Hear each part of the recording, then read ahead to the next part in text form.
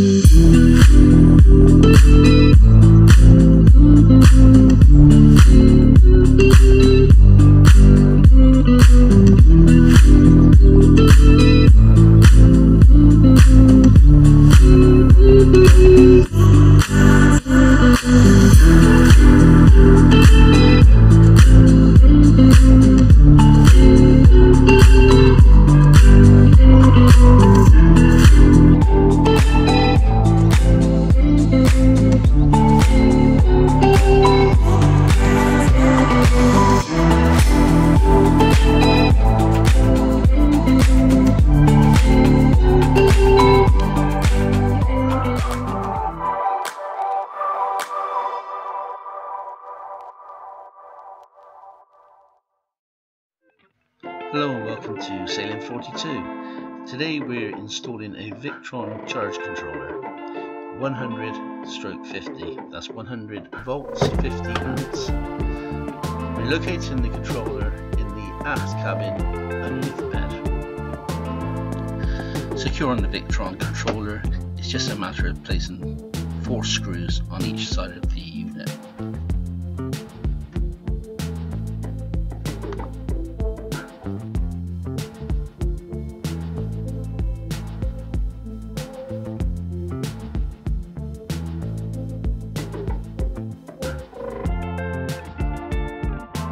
have the controller, leaving enough tails to go into the isolator.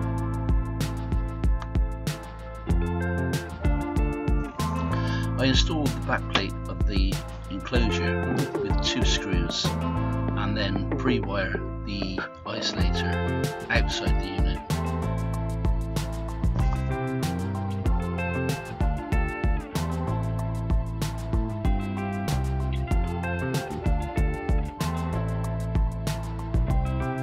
After installing the isolator onto the DIN rail, I just push the two clips underneath, locking it in place.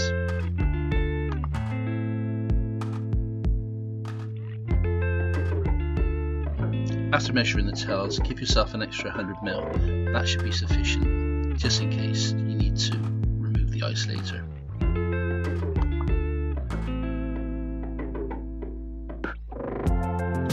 It's good practice to use a ferrule in the breakers and on the, the machine itself as there's a lot of movement with the boats and RVs.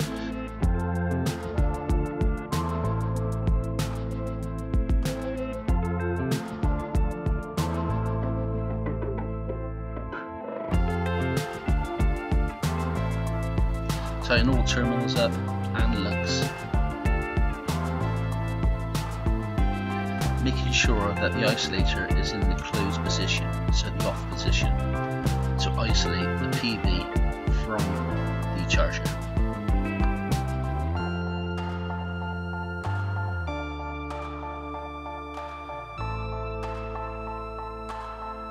So this is the ground for the heatsink on the back of the charger. This goes to your earth or your ground on the boat or RV. This is not a neutral for the hmm. unit.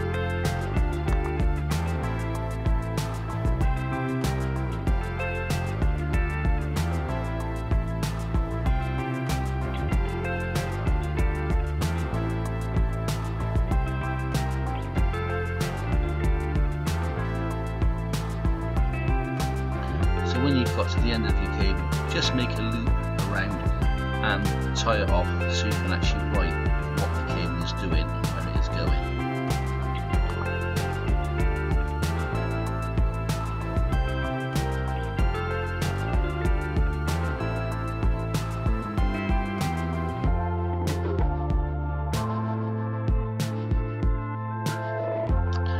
twist the cable around and double it over. This will give you a good bite on the lug itself.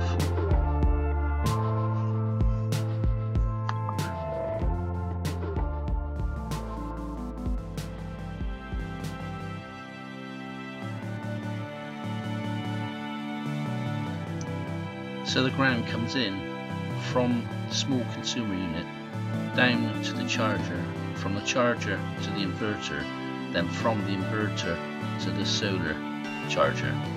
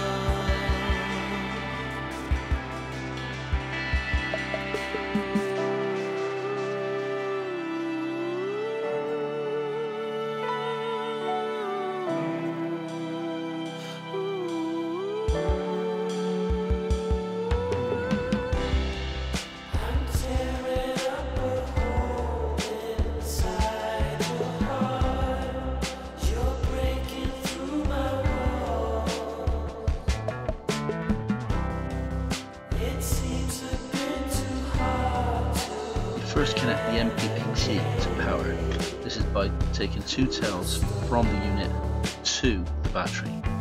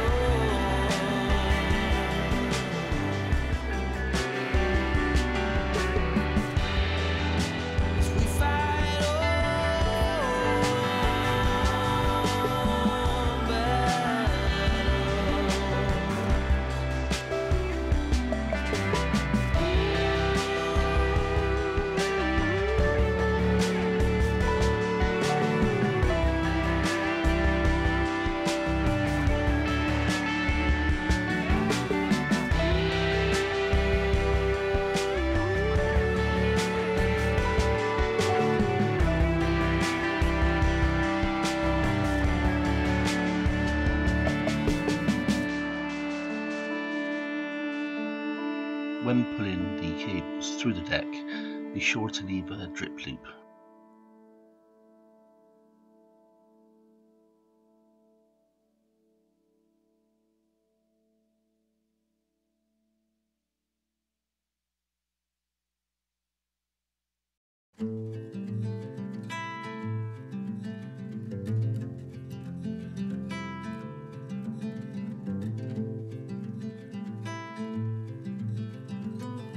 Where the cables pass through the gland, I use heat shrink just to tidy the job up.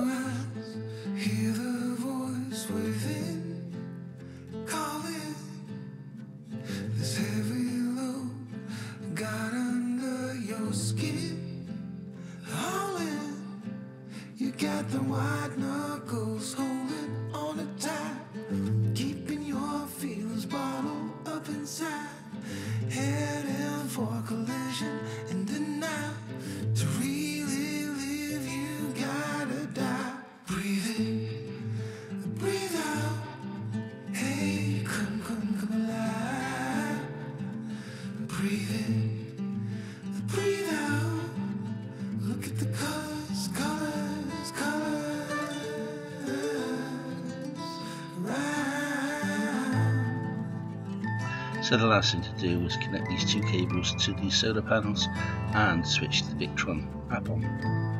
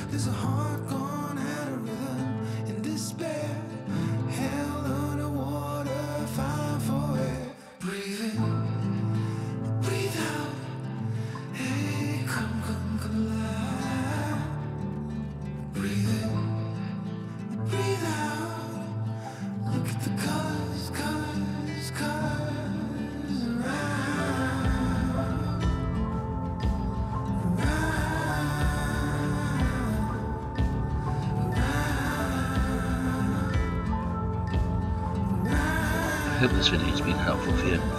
Please like, share and subscribe. And I'll see you next time. Bye bye.